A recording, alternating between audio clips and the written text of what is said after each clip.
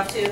Um, I'm going to read a couple, I'm going to read some haiku and then um, sort of two spoken word things that I've been working on. One's kind of, one's, one's like from a couple months ago and then one I was trying to finish today and it's probably going to be like a piece that I work on and do better with later. But um, Okay, so these are haiku because I compete in a lot of these haiku tournaments that my friend Raven Mack does. At, um, he does them at Balliceaux and he does them in Charlottesville too, and they're really really fun. So I think everybody should write haiku and compete in the tournaments. They're in the they're the last Wednesday of every month at Balliceaux at 8 p.m.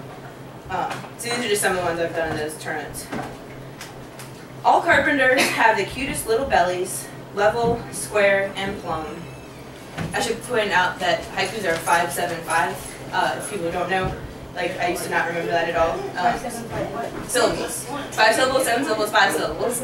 And they, I think traditionally they're supposed to be about like one type of content or like flowers or something, but um, that's not how we do them in Richmond. okay, so this one's actually about Arch House. It's Scrabble by Lantern, Friends Lost, Revived, and some new, Sparklers and Skeeters. Strangled by to-do lists is how they will find me, what will be crossed off. If the Lord wills it, we will have the time and space to get the curb couch, which y'all are now sitting on. Um, Alec balances on joists, thinking he won't fall, 16 on center. He rescued a road turtle. Days later, we found one Bella Dog ate. Condos for the rich, but only jails for the poor. Lovely river views. If you want some of my Hanover tomatoes, you better behave.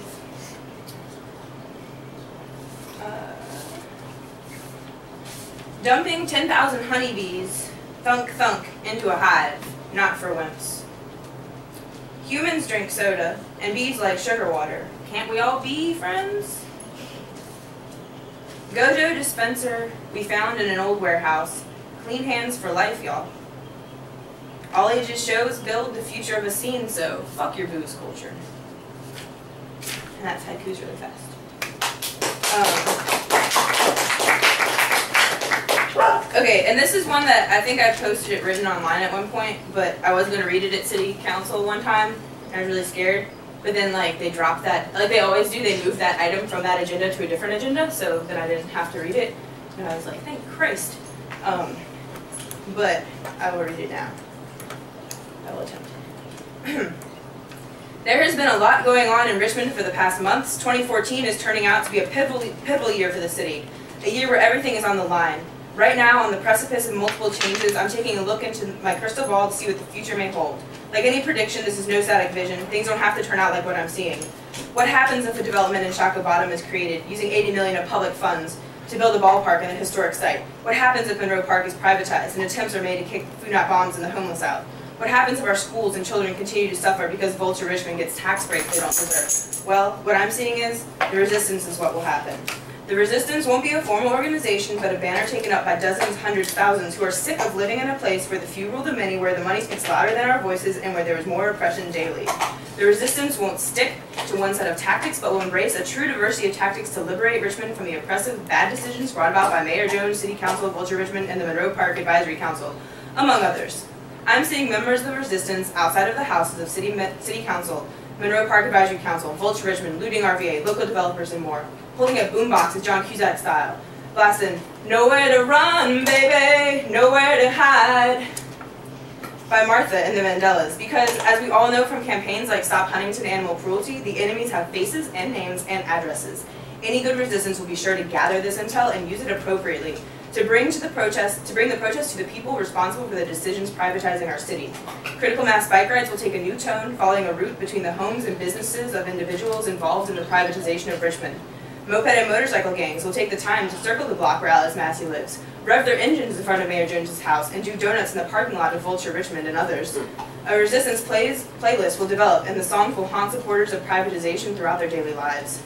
Banners will be dropped from highway overpasses with messages promoting liberation and an end to corruption in Richmond. A generation of youth will discover the joys of street art, wheat pasting, and spray painting their way from one end of town to the other, spreading messages of the resistance of freedom of public spaces. And don't tell me the youth aren't hungry for action. We've seen them. You've seen them. They're itching for something to do. You may put up fences, they will come down.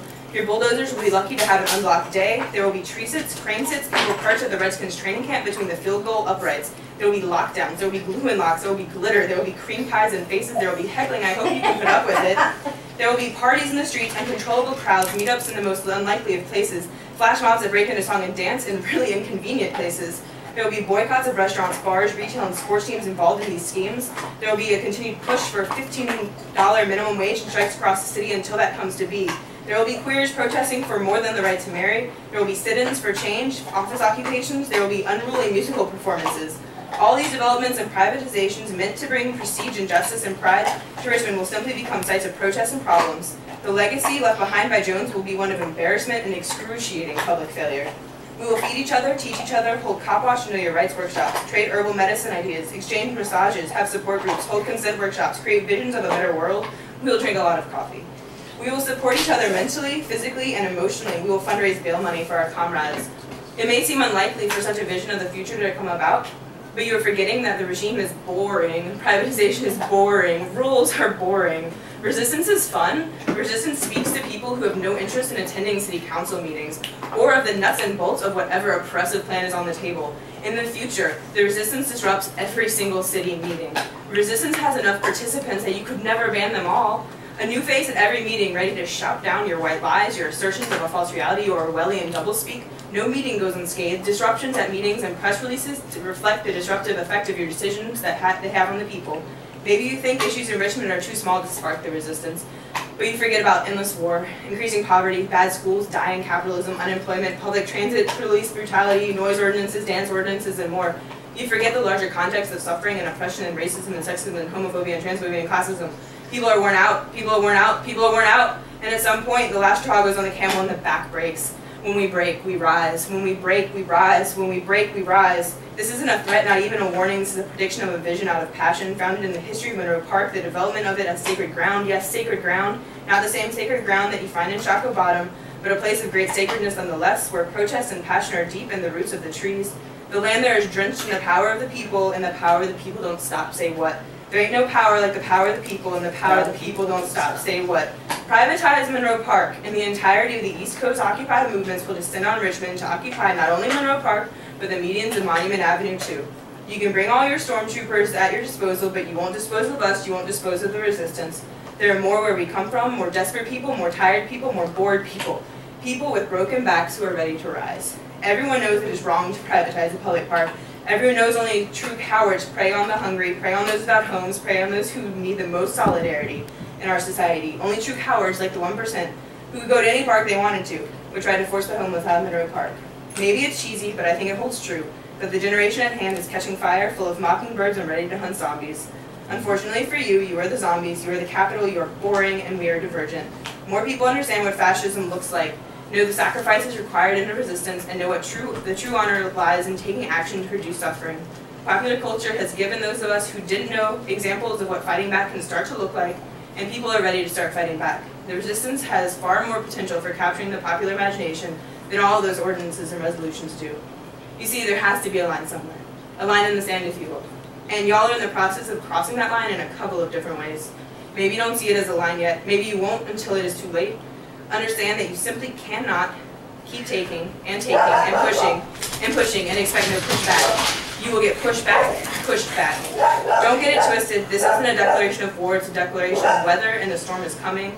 Weather above and underground going to hit the city. I don't think you'll be ready for the storm. I don't think you want to try to get through this storm. I don't think you want this storm. But hey, this is just a vision. Who knows what the future holds? Just keep an eye out for those storm clouds of resistance.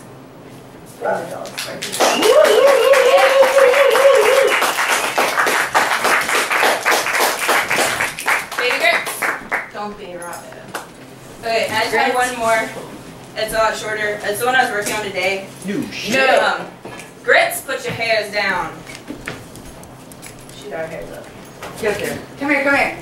Come now. Come now.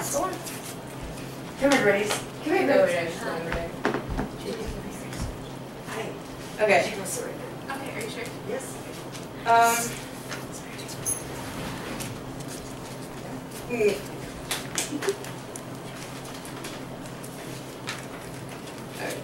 Um, this one's called Need a Man. I don't want to write another feminist poem whining about men, the patriarchy, and how that shit is fucking ruining the world. I don't want to. But at least once a day, my head hits this rhythm, thinking about how men suck and their actions are buzzkilling.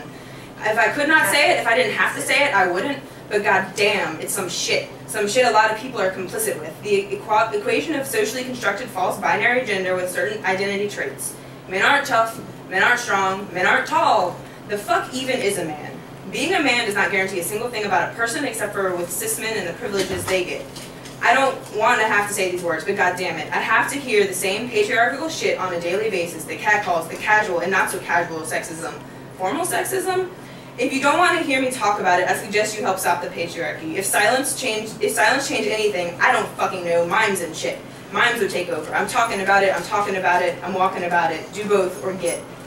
Lately, the one that really gets my goat is that no matter how tough I am, asshole always goes, Help, we need a man.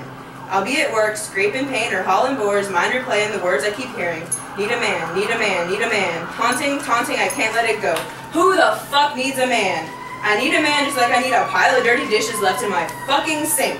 I need a man? Ha! I'll be some shit, I'll be doing some shit like handling an emergency or carrying insulation at Lowe's and some fucking person will exclaim that I need a man. I mean really, what would I need a man for?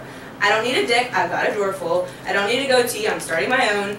I don't need a goddamn thing from any socially constructed, totally bullshit, pretend-ass gender identity that I can't get from myself. When I decide, when I decide, when I decide I want a man, well that's between me and him, the dogs, and the Lord. the innate, the essence, the, the core of man. Well, I'm pretty sure I can buy some axe and get that shit in a can. Men can't do anything that I can't simply by nature of being a man. If you need a medic, yell medic. If you need a carpenter, just ask. If you yell we need a man, I'll kick your fucking ass. Yay.